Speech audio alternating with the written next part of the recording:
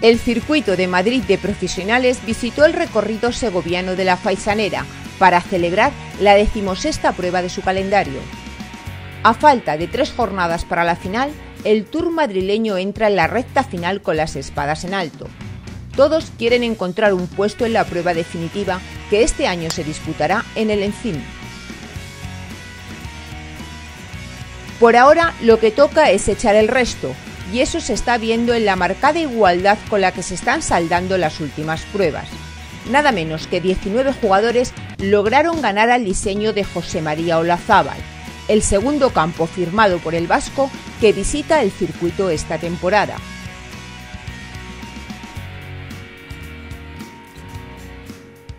Entre esos 19 privilegiados, el que más destacó fue Antonio Hortal, que con 65 golpes, 6 bajo par, logró su segunda victoria de la temporada.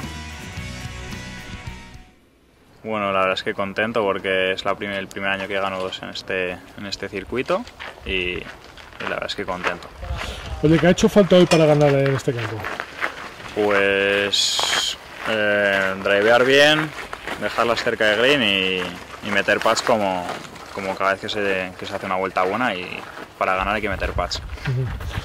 Toño, este es el segundo campo de Olazábal que jugamos en el circuito, Retamares y, la Faisanera. ¿Ves algún punto en común o son campos totalmente distintos? Pues la verdad es que sí, este quizás no, no tiene los desniveles que tiene Retamares. Diría que es un poco más corto que él, pero el agua entra mucho en juego. Los bunkers están muy bien puestos desde blancas, aunque hoy los hemos jugado un poquito más adelantados.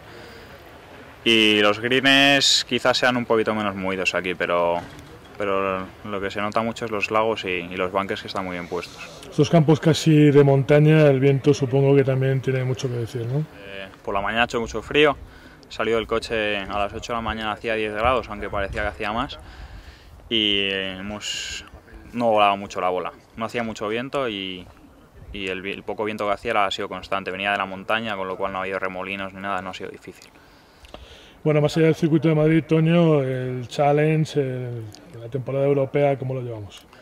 Este año ha sido muy duro y he aprendido muchas cosas, pero fallando muchos, muchos cortes, ahí ha sido bastante, psicológicamente ha sido muy duro. Y ahora preparando la escuela, entrenando mejor que, que todo este año y a ver si hay suerte.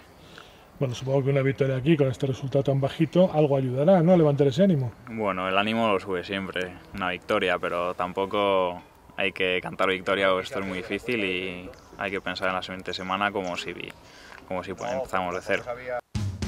A la zaga del campeón, Yago Beamonte y Sebastián García, compañero de Hortal en el programa Jóvenes Promesas, finalizaron su recorrido con 66 golpes mientras que Jacobo Pastor y Miguel Fajardo lo hacían con 67.